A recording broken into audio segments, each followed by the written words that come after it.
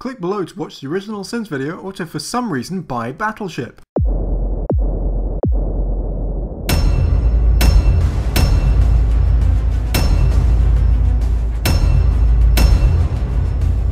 I've seen this film, and that's a sin on me. I can't count it yet, but be sure by the time Sin Sin Sins Part 2 rolls around, I will sin myself for this. Also, let's start off with a missed sin. This film is based on the board game Battleship. You'd think that Jeremy would remember to sin that, but he doesn't. And in many ways, it's really the biggest sin of all. I got tased. Those things work. Well, no, you were still able to hand a hot girl a burrito after you've been tased. And as we all know, the real measure of whether or not a taser works is if the tasee is afterwards able to hand a hot girl a burrito. Where are the holes from the other taser they hit him with? They hit him with two taser shots, both have two prongs. No, none of them have any prongs. That's not what a prong is. This is some of the finest military porn I've ever seen. Just to be clear here, the sin here is that as military porn goes, this is some of the best there is. So if this was worse, would you not then sin it? Oh, so he's already with this girl then. Good. Thanks for setting up that conflict and then blowing right past. Yes, of course. I really wish this action movie spent more time fleshing out its romantic subplot. Because if there's anything that needs to be in every stupid action movie ever, then it's a completely unnecessary romantic subplot.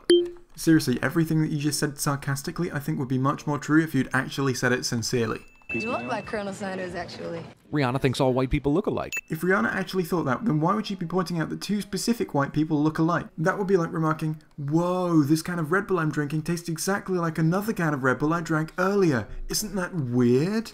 As if it was something special to point out. You want to talk about anything? Who the f is this guy? Jeremy sins a movie for introducing a new character, for some reason. Wait, I thought this was a Navy movie, not an Army movie.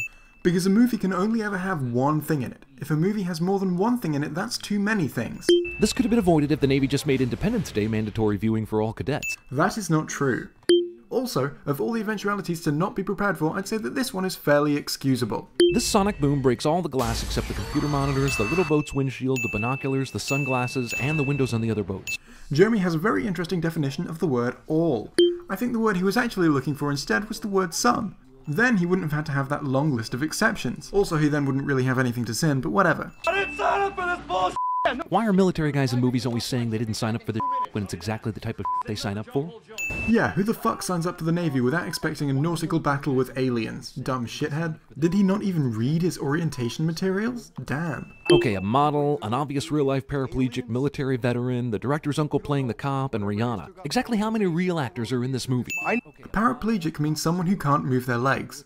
This guy, yeah, this guy right here, the guy you just described as a paraplegic, doesn't have any legs. He's an amputee, not a paraplegic. Good thing the aliens only attack until their victims are not capable of fighting back. I mean, except for the time they used 100 bombs to incinerate that entire ship and all her crew.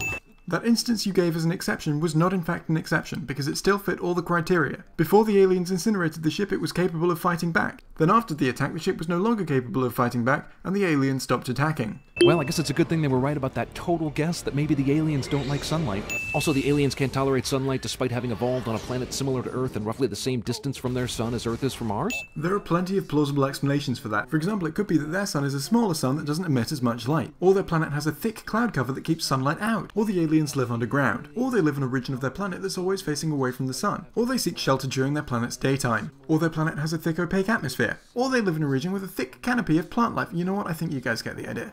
Good thing this floating museum ship has like 25 old timey military guys to serve working every day as curators and who also happen to know how to run everything about the ship. Also, it's really impressive that these 25 guys are somehow able to crew a ship that's intended for a crew of over 2,000 people.